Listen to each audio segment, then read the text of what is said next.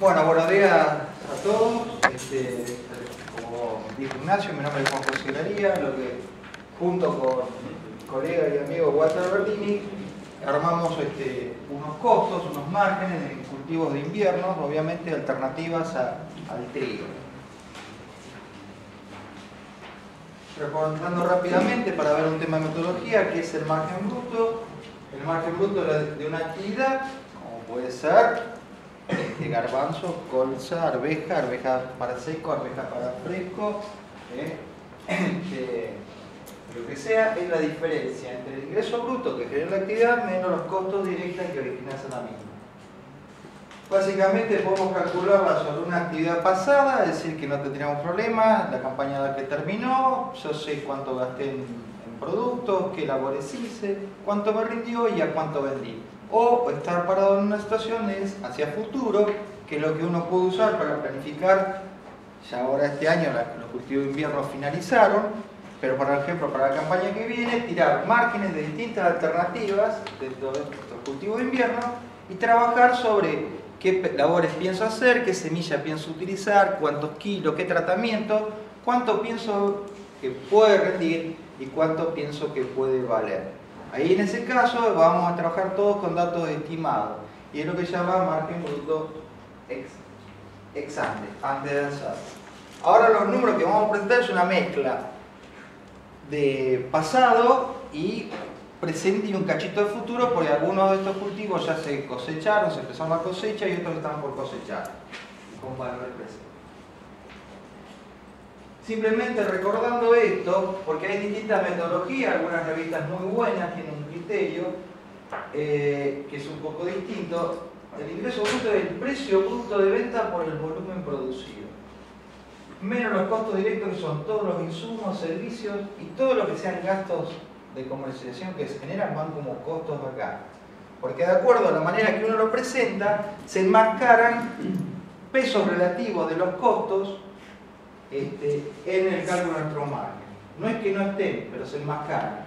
Y hay veces, como después vamos a poder ver, uno a veces eh, dice, no, este, este fungicida es muy caro, escatima, o lo que sea, y eso en el peso de los costos no, no embroma tanto. Y básicamente con este criterio económico que dice, todos tenemos una empresa agropecuaria y las actividades que hacemos en esa empresa son el pulmón de la empresa. Algo básico, si las actividades que hacemos no caminan o, están flojas, la empresa va a estar floja. Entonces, a través de esta metodología simple, lo que hacemos es como hacer una espirometría a las actividades que, hace- que hacemos. Vemos qué capacidad respiratoria, qué pa- capacidad de insuflar aire a la empresa tiene. Y a su vez, qué estabilidad, porque hay algunas eh, actividades que de repente puedo dejar un buen margen planteado bajo determinadas condiciones, pero cuando algún cambio, alguna variable importante, caen. Entonces vamos a ver qué cantidad de aire tiran y qué fuerte es ese aire, qué tan resistente es ante condiciones adversas. ¿Qué cultivo analizamos? Vamos a mostrar sobre arveja, garbanzo, colza y cebada. Cultivos alternativos que se están haciendo en la zona. Cuando me refiero a la zona, abarco San Nicolás, Ramallo y San Pedro. Y básicamente, uno dice, ¿esto qué son? ¿Cultivos nuevos? Arveja, esta zona, San Nicolás, Ramallo, sobre todo parte de San Pedro, era una zona arvejera por excelencia hace muchos años. Es más, uno puede recorrer viejos edificios, Valle de Oro, eh, con eso, un montón de plantas procesadoras de arveja. Eso es- es una actividad que se vino a pique y que ahora está reflotando. El garbanzo sí, relativamente es algo relativamente nuevo para la zona. La colza, la colza como hoy bien decía anteriormente, es un commodity. La colza es la segunda oleaginosa en el mundo. Top, la soja, obviamente, con 200 y pico millones de toneladas. Y después sigue la, colza, no pegadita, bastante más abajo, pero es la segunda. ¿Y es un cultivo nuevo? No, es un cultivo, primero es milenario, pero acá eh, se hace hecho colza. Es más, puntualmente, cuento mi experiencia, en el año 77 con un compañero sembramos colza, la famosa variedad de oro, que eran las primeras variedades dentro de lo que se llama la canola.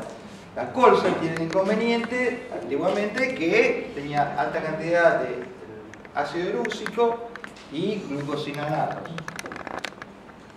Canadá mejora, baja genéticamente esos, esos problemas de erúsico y los glucosinanatos y saca lo que se llama la canola, que es la colza. Una de las primeras variedades es la oro, que era la que, como estaba contando, ya hace en el año 77, casi 40 años, sembramos con un amigo. Y en ese momento conseguimos una bolsa, eran 5 hectáreas, sembramos, estuvimos como dos años para poder vender. Hoy, gracias a Dios y a los cambios que ha habido, hoy ya hace más de tres años que uno ya tiene cotizaciones en pizarra de colza. Es un mercado que se está afianzando acá en la República Argentina. Y la cebada, bueno, a través de la cebada cervecera. Estos cultivos, como decía, que la arveja, que es la tradición acá, el colza, que no es un cultivo nuevo, que recién ahora aparece, la cebada con su tradición, el garbanzo puede ser. ¿Por qué empiezan a aparecer en la zona? Por un problema de comercialización con el trigo. Básicamente, los productores de esta zona que, empiezan a incursionar, van a incursionar más con este cultivo, es por el problema de comercialización del trigo porque el trigo lo saben hacer, el trigo en términos generales es seguro, pero después, al momento de la venta, no se sabe bien, por las políticas económicas, no digo que están ni bien ni mal, pero son las que son, no se sabe realmente cuánto va a valer. Hoy el trigo tiene un precio bárbaro, si quieren después comentamos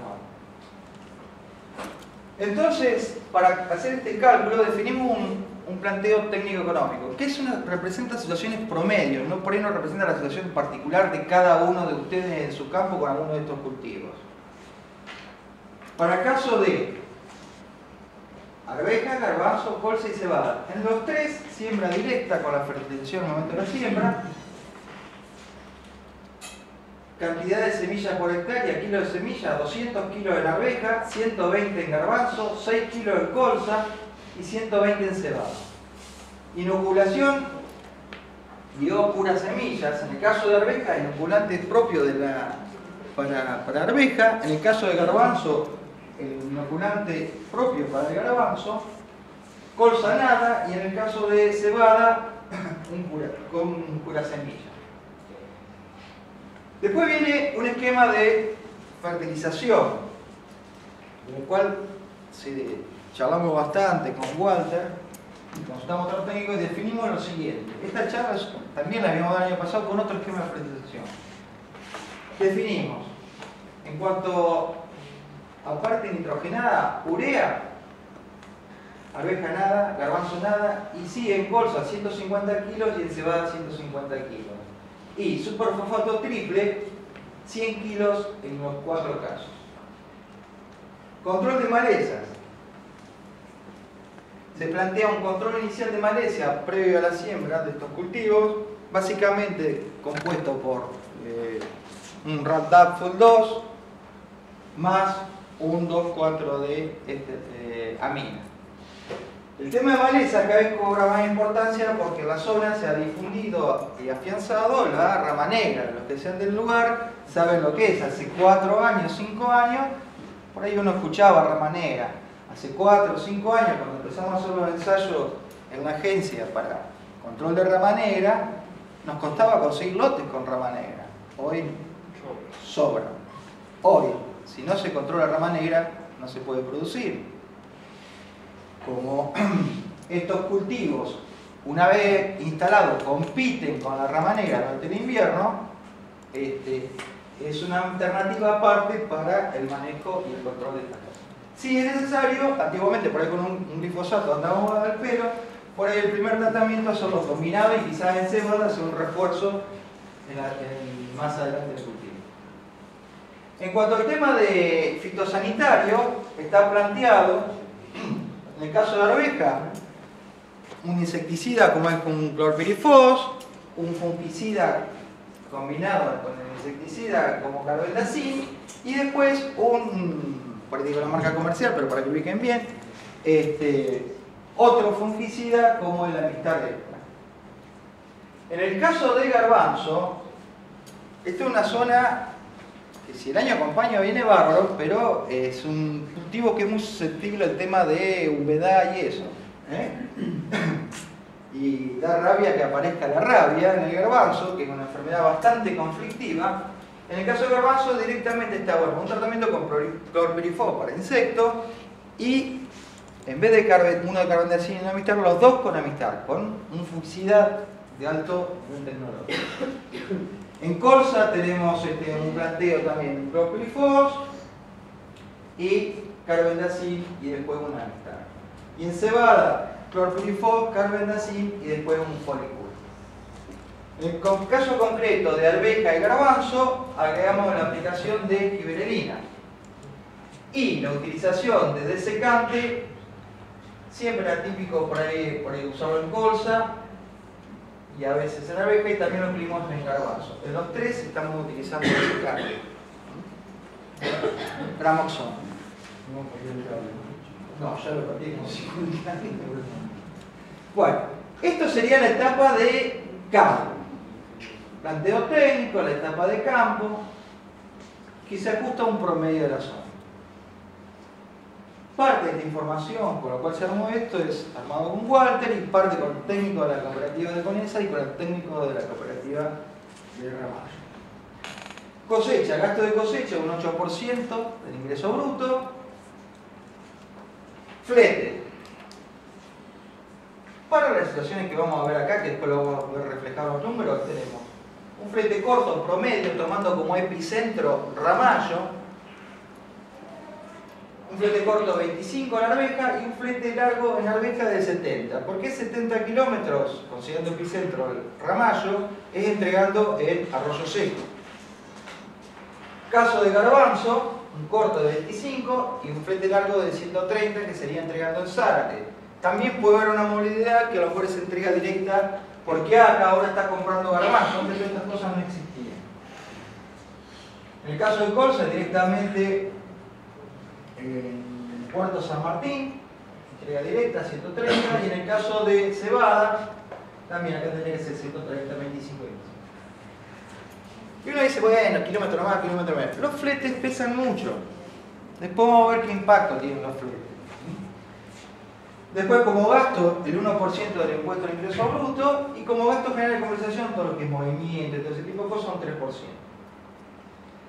Y ahora viene otra cosa que definimos en el planteo técnico que es rendimientos. Considerando rendimientos para años normales en nuestra zona, establecimos como un promedio en arvejas de 22 quintales por hectárea, 18 en garbanzo, 16 en colza y 40 en cebada. Y precio.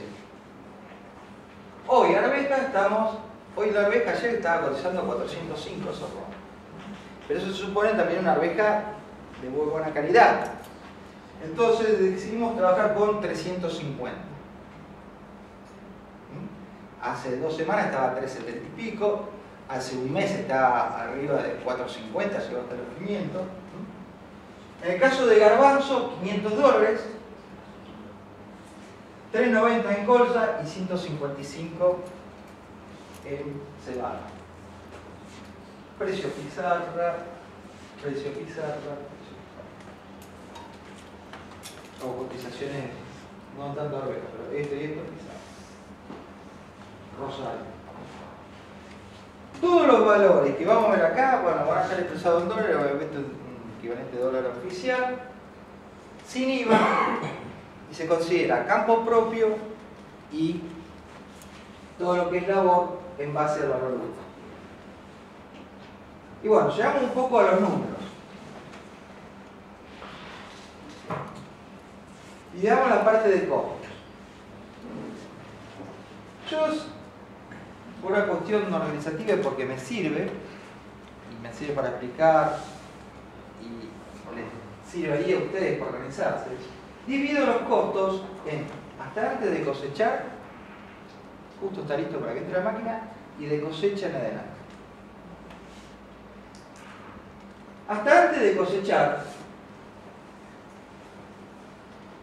En arveja estamos 3.44, garbanzo 3.76, colza 308 y cebada 287. De cosecha en adelante estamos en 141 en arveja, 158 en garbanzo, 106 en colza, 186 en cebada. El total de costos directos por hectárea, desde el siembro hasta que cosecho y vendo, 485 dólares en arveja, 534 en garbanzo, 414 colza y 472 y hoy yo le decía que por qué lo organizo así, porque esta vez se me permite, bueno, mucho no se usa el contrario, si uno analiza, en cuanto a labores, las tres más o menos el mismo costo. Esto podría ser un poco más bajo si tuviéramos maquinaria propia, porque el valor útil contemplaba un montón de cosas extra. Pero en cuanto a lo que es labor es parecido. 66, más o menos 75, está en ese orden. Semillas más el inoculante o pura semilla. Y ahí se despega lo que es arveja y garbanzo. Es decir, en estos cultivos vamos a tener un gasto importante en la parte de semilla, en arveja y garbanzo. Bastante distanciado hasta la colza y lo que es la cebada. ¿Por qué? Porque la semilla de colza es cara, pero estoy utilizando 6 kilos por hectárea. Es más, con determinado calibre de coso podría bajar a 4 hasta 3 kilos. Agroquímicos. El garbanzo está un poquito más arriba que dentro de los cuatro, porque hago dos tratamientos con amistad. Que es un fungicida de 61 dólares a valores de hoy el litro. Después seguiría arveja y colza y cebada están abajo. Hasta el momento de la cosecha, el más caro es el garbanzo. Y seguiría la arveja. Y básicamente por estos dos factores de cosecha en adelante, lo que es gasto de cosecha son más o menos parejos, salvo colza y cebada que ven un poco más abajo. Fletes, la distancia era más o menos parecida, yo decía que se va a 130 kilómetros eh, de flete largo, en este también, en este también, en la reja lo mismo que era 70 kilómetros seco. ¿Y por qué se distingue? Porque tengo más quintales por hectárea. No es que el flete es más caro, tengo más quintales. Y esas son cosas que tengo que ver, porque ahora el flete va a ser un salto. Y se viene una subida de combustibles, ya anunciada. Siempre vino subiendo el combustible. Y el flete empieza a pesar. Y a veces, en el momento de la elección comercial, ese tipo de estrategia hay que tenerlo en cuenta. Entonces, fíjense, yo podría usar en cebada, que tenía este, un carbendazim, foricur. Foricur es un poco más caro. Podría usar otro fungicida más caro. ¿Cuánto se me elevaría esto? De 41 que se vaya a 60. De frente ya tengo 110. Y estoy atado ahí porque tengo que transportarla y forman parte de los mis costos. Ese es el criterio que yo decía, porque hay algunas veces que uno habla del ingreso neto, ¿qué hacen? Al ingreso le restan, al precio le restan todos los gastos de comercialización, porque es como que uno lo siente en el bolsillo porque no tiene que erogarlo, sino que ya viene descontado, y después a lo que queda le restan esto. Y la realidad es que todo esto, todo esto, uno lo paga, lo que a veces ya viene descontado, por el frente lo hice con la cooperativa, cuando entregué después me viene descontado todo pero en sí lo pago yo. Entonces, ese es el tipo de, cosas que me permiten ver cuando uno disgrega. Sobre todo a veces que uno mezquina esta parte de los agroquímicos, que si hay que aplicarlos se justifican, aplicarlos por aplicarlos no tiene sentido, y esto. Entonces ahí llegamos a estos costos.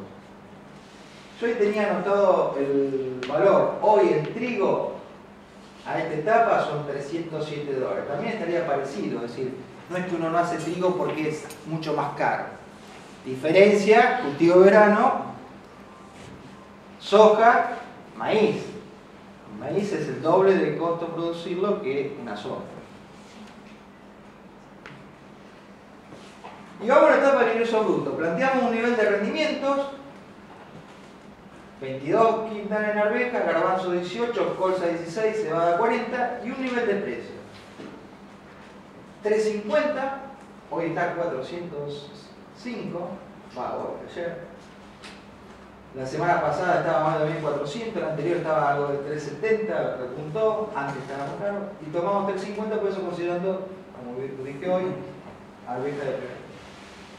Garbanzo 500, y acá sabemos que el calibre influye terriblemente en el precio. Entonces uno, si tuviera todo calibre 9, no trabajaría con ese precio, pero sacar todo calibre 9 es muy difícil. Rendimiento por precio bruto de venta, ingreso bruto. Si al ingreso bruto le restamos todo lo que nos cuesta producirlo, cosecharlo, transportarlo y venderlo con todo lo que de producción, la diferencia es el margen, lo que nos está quedando por hectárea. Y abajo tenemos una cosa que se llama relación margen bruto dividido costo directo. Y esto sería como un indicador, entre comillas, de rentabilidad de la actividad, no de la empresa. Viendo estos indicadores, la arveja me estaría dejando para la situación planteada 285 dólares por hectárea, garbanzo a la cabeza con 366 dólares por hectárea, colza 210 y cebada, número redondo, 150.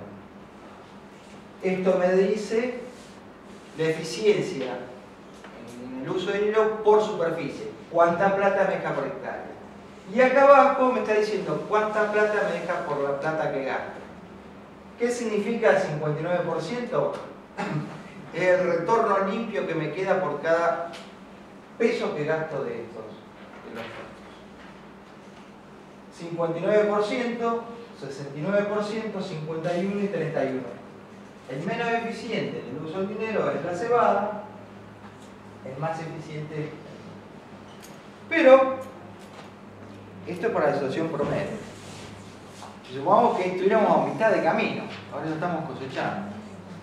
Una pregunta que uno se puede hacer, esto gráficamente, en barra roja están representados los costos, y fíjese que dentro de todo son relativamente parecidos, no se disparan. Si esto fuera soja y esto maíz, el costo estaría por acá, casi el doble. Y los márgenes salvo la cebada, que un cachetito más abajo, estos vienen relativamente parecidos, destacándose arveja y garbazo. Es decir, yo acá medí el aire que están tirando a la empresa. Pero esto se cumple este rendimiento y estos precios. Entonces, una pregunta que uno podría hacerse antes de largar, o antes de decidir qué sembrar es, ¿Qué es lo que yo necesitaría para salir hecho? Para salir hecho económicamente sería que lo que, me, lo que entra menos lo que cuesta producirlo sea igual a cero. Es decir, que el margen bruto sea igual a cero. Entonces ahí podemos sacar dos indicadores. El rendimiento de indiferencia y el precio de indiferencia.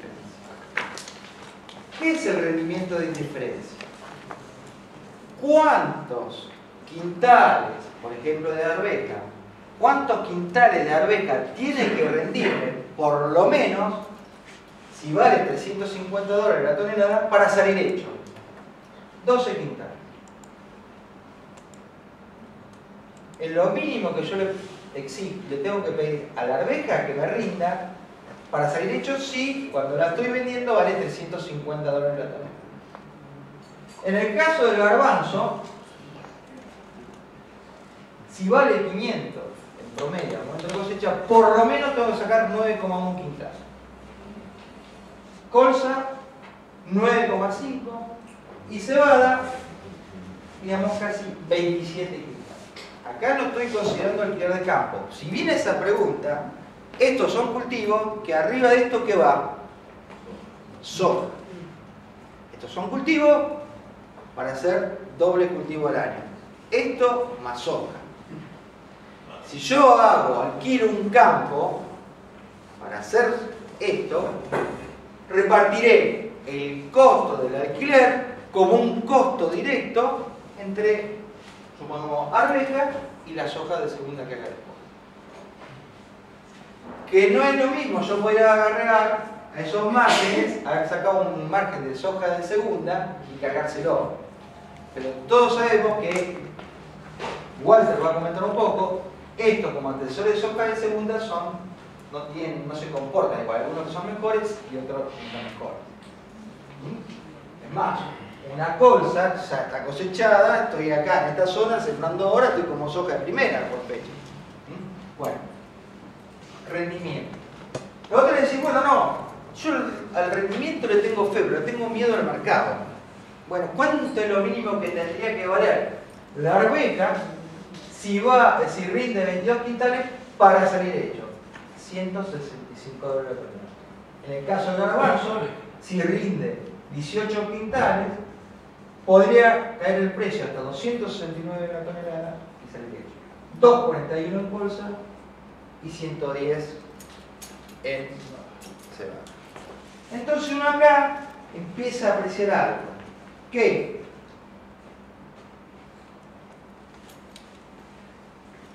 arveja y garbanzo, para salir hecho, yo le decía que tiran un aire, la otra es ver, si yo le pongo, lo, empiezo a soplar, como con la prometida, soplar y te hacen hacer más fuerza, a ver cuánta, qué capacidad tenés de aguantar si yo te empiezo a tapar.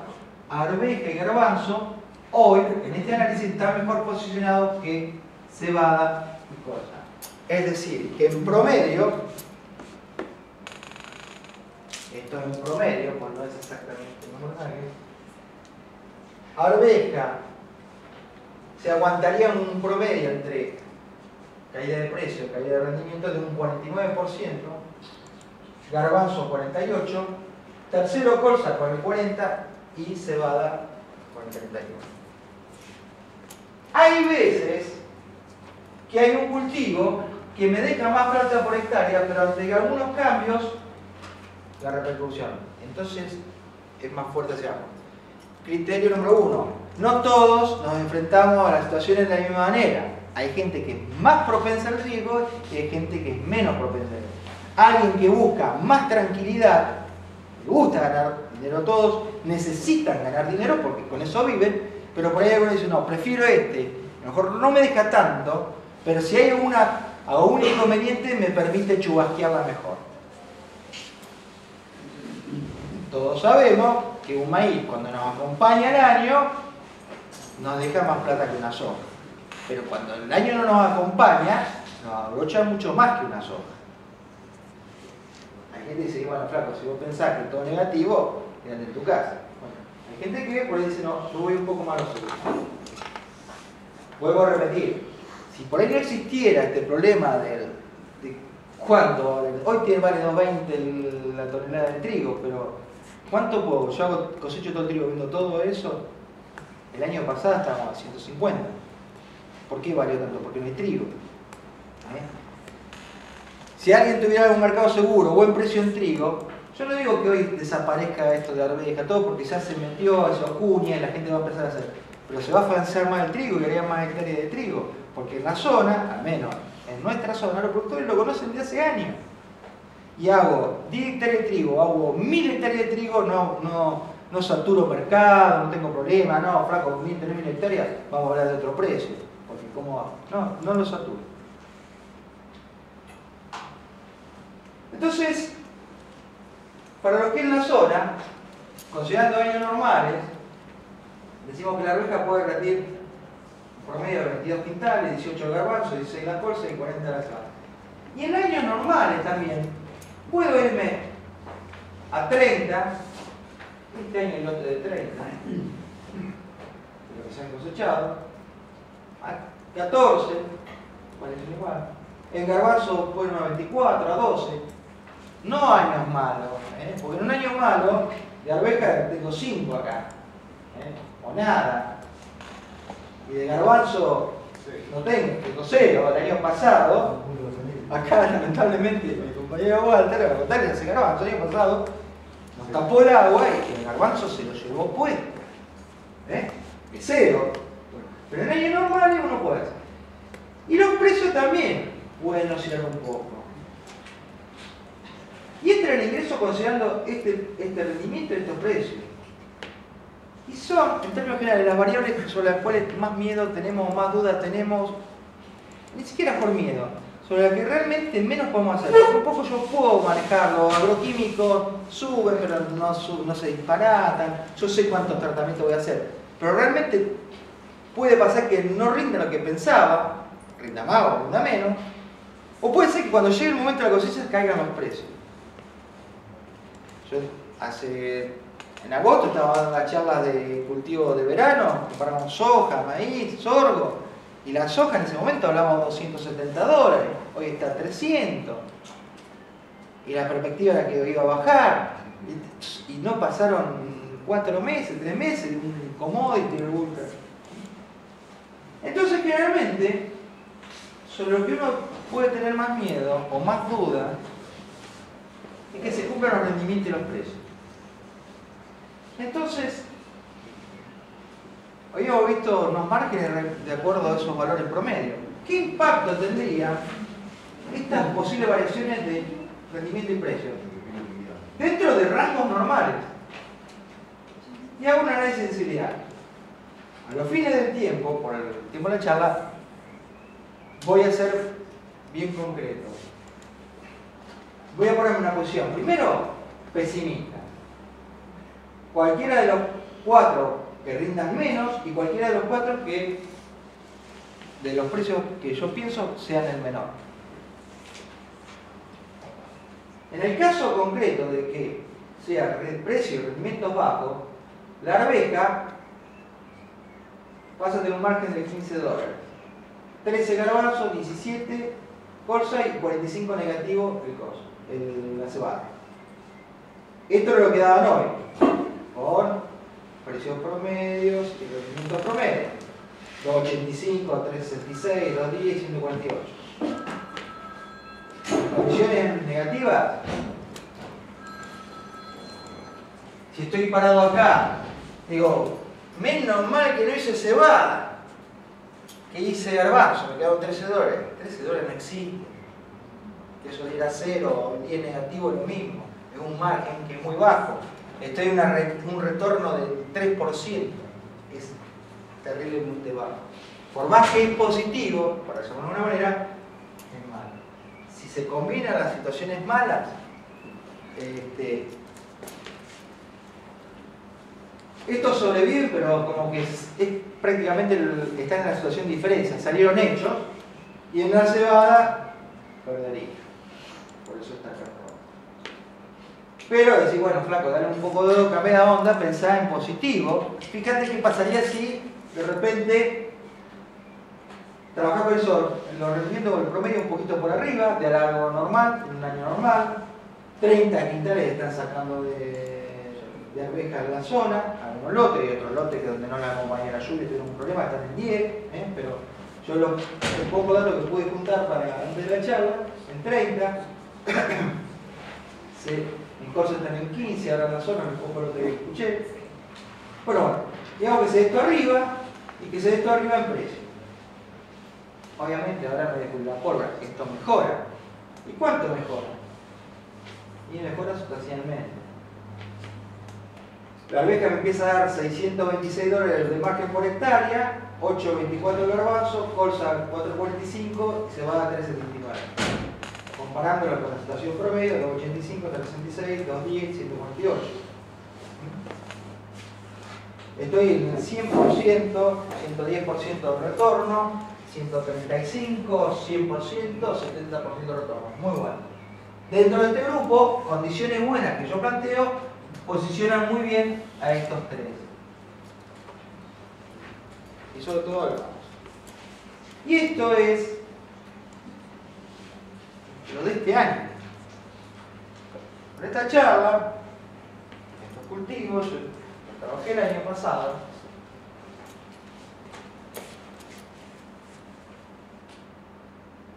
Y estos son los precios que estoy trabajando ahora, arveja 350, garbanzo 500, colza 390, se va a 150. El año pasado la arveja trabajaba con 250.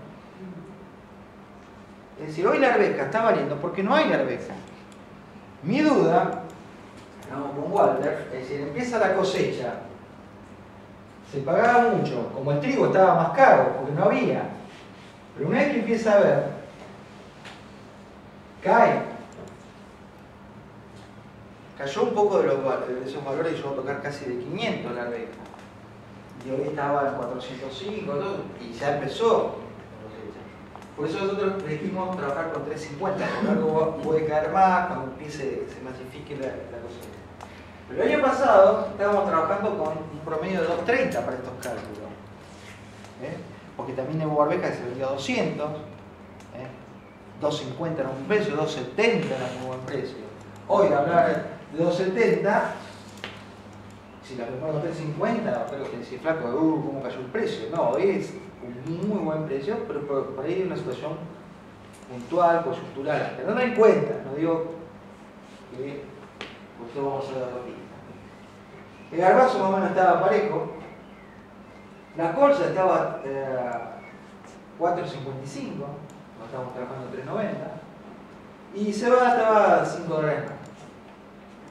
Estos son los márgenes de actuación que vimos hoy, y estos eran los márgenes si tuviéramos los precios que de venta que hicimos el año pasado. Entonces la beca en vez de 2.85 son 100 dólares. En vez de tener una rentabilidad del 60, tener una rentabilidad del 25. Garbanzo exactamente igual. Y colza, el año pasado, como el precio de venta era superior, me estaba dejando más plata por esta. 300 dólares contra 210. Bueno, situación que